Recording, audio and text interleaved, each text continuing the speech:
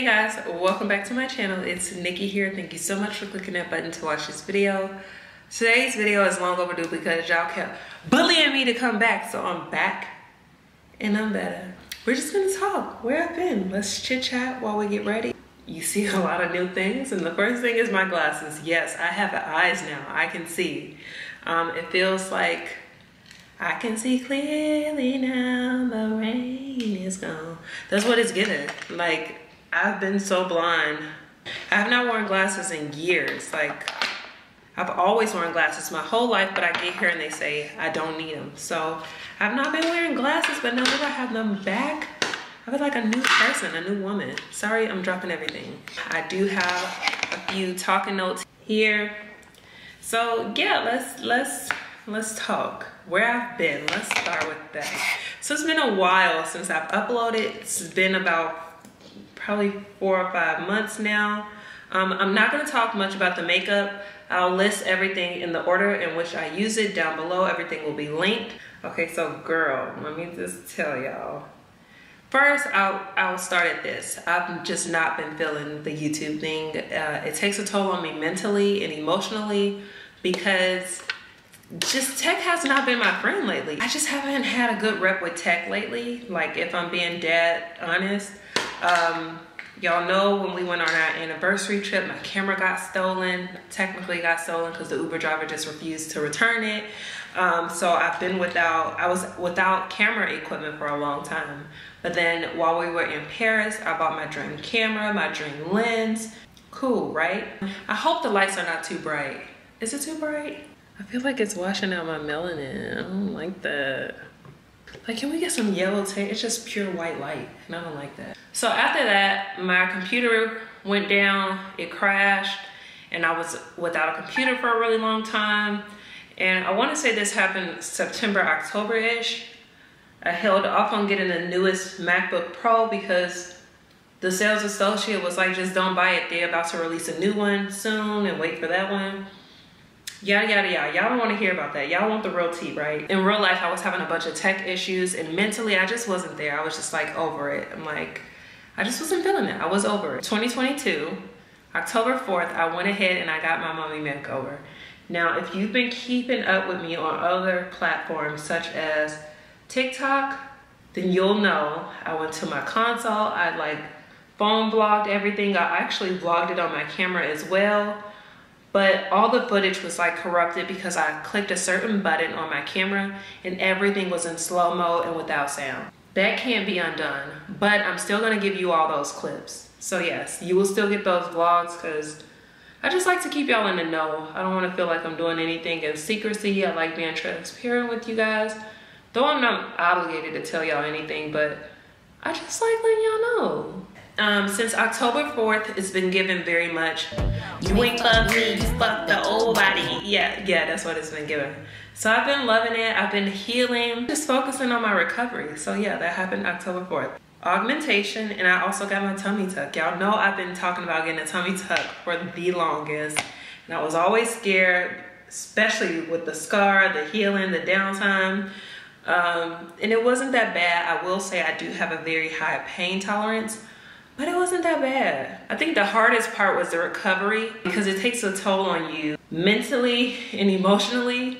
Coughing, laughing, sneezing, all of that hurt. Like, because I had a muscle repair as well. I had really bad, a really, really bad case of diastasis. So he repaired all of that, resewed all my muscles. During the healing, oh my gosh. Y'all, Chris and the kids, I would say Chris was the worst because I feel like everything he did was funny and not being able literally to laugh, it hurt so bad.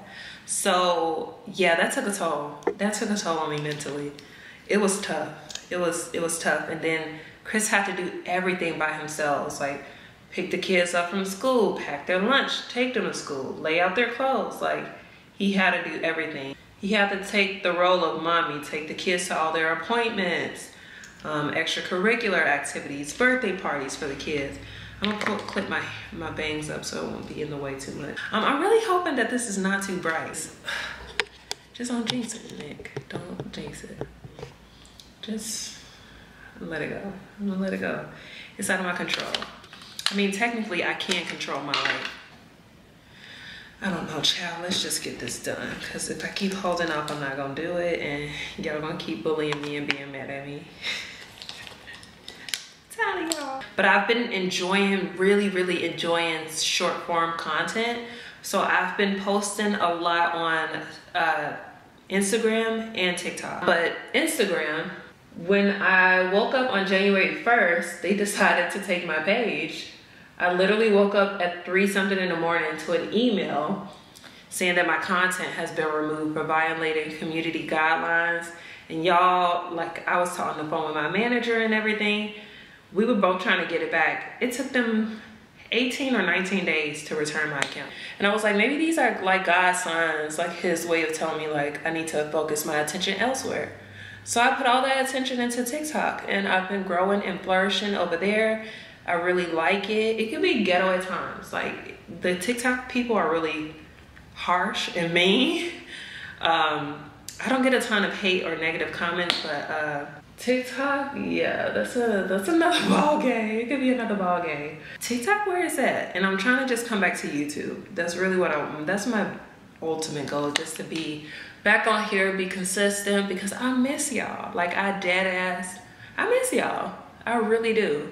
I want to thank you guys so, so much for reaching out, constantly checking on me. When I went MIA, and especially when y'all noticed my Instagram was gone too, so many of y'all reached out. Y'all email my manager, y'all were emailing me, y'all were sending me messages on TikTok or in the comments on TikTok, like, where are you? Uh, is everything okay? Is the family okay?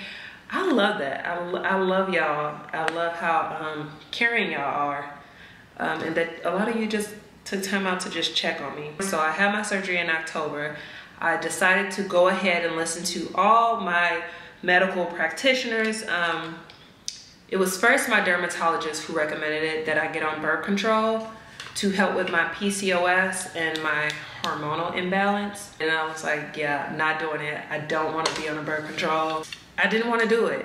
So then my primary doctor also recommended, both of them were males by the way, they, they both recommended the exact same brand. And then when I went out to California to have my yearly exam, my OB, after we got my ultrasound results back um, from when I had to have an ultrasound because of my cyst on my ovaries, she too says that she thought that birth control would be the best option for me and she was recommended a certain birth control. Now when I researched this birth control, it was like 50-50. It was given 50-50. Some people were saying it worked. Some people said it made them crazy, that they experience horrible side effects. And I will say that I feel like I have I have been experiencing a lot of the side effects, especially like uh, mood swings and um, sadness. I wouldn't say depression, but just like sadness. Um, and then I get really, really, really, really, really bad. I always had bad headaches, but they're like super frequent now. The birth control it's working in all the other areas. I don't know if y'all see my skin, but skin is flourishing. Period is not happening twice a month anymore. And I started the birth control November 1st. I've been on it since. And um, it's a pill. I take it every day. The brand is Yaz. Um, and I know a lot of y'all don't like that. I, I get it. I didn't want to do it. But it's been working. I hate that I have the horrible side effects with it. But the pill is doing what it needs to do. So it is what it is really. It's not much more that i can worry myself about. I finally found something that helped. Yeah it has regulated my period. It's also shortened my period too because now it only lasts like four days. Because i was already down and recovering i was like it's november. Let's just try. Let's just try this birth control. I had to stop all medication all vitamins two weeks prior to my surgery. Again my surgery was in october but i stopped a month in advance because i just I just like playing by the rules and I want to be as safe as possible. So I haven't been on any vitamins, any anything. It's helped in the areas where I needed to help. Will I stay on this brand? I don't know because again, the side effects are just like not my cup of tea. I feel like with the sadness too. Now with the sadness, what I've been doing is just literally journaling. Um, I talked to my doctor. He was like, well, we could possibly put you on an antidepressant. And I'm like, Look, I don't even like taking pills. I'm not taking no goddamn antidepressant. antidepressant.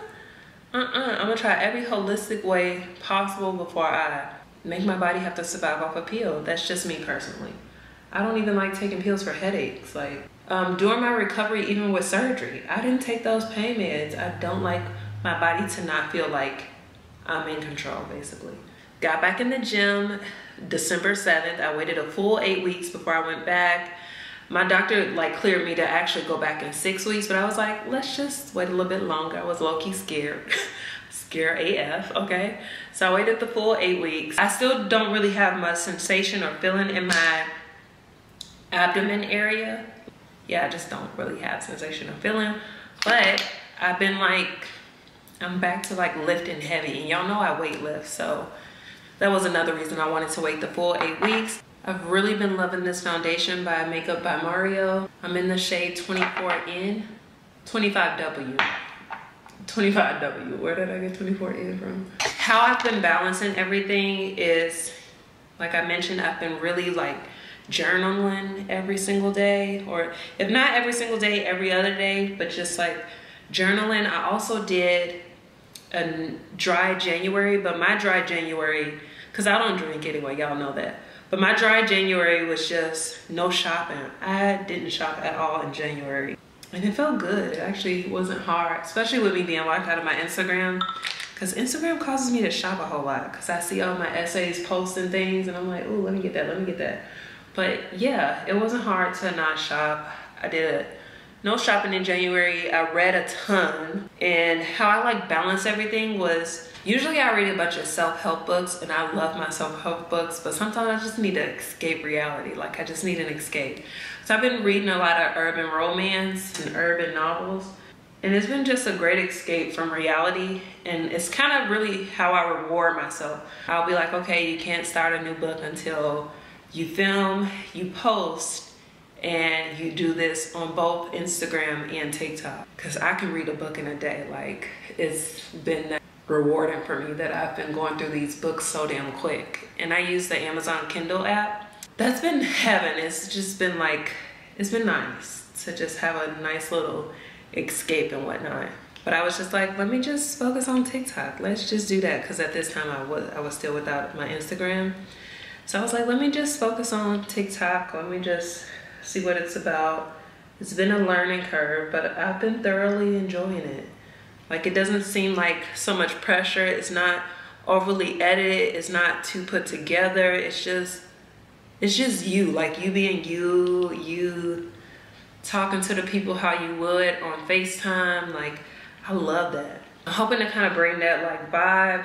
I know YouTube is so different though, because it's like a lot more editing. You gotta do music. You gotta have outro and intro. Things gotta make sense. I'm a perfectionist and I feel like it, that it's caused me to put so much pressure on myself that it's caused me to fall out of love with YouTube. If that makes sense. Does that make sense? I feel like it's been hard for me to stay consistent because I don't know, I have all this this pressure, this unwanted pressure that I've literally given myself in a way because I don't feel like y'all pressure me. I mean, y'all pressure me like where the content at, but other than that, like I don't feel like y'all pressure me. Um, it is what it is. I'm back.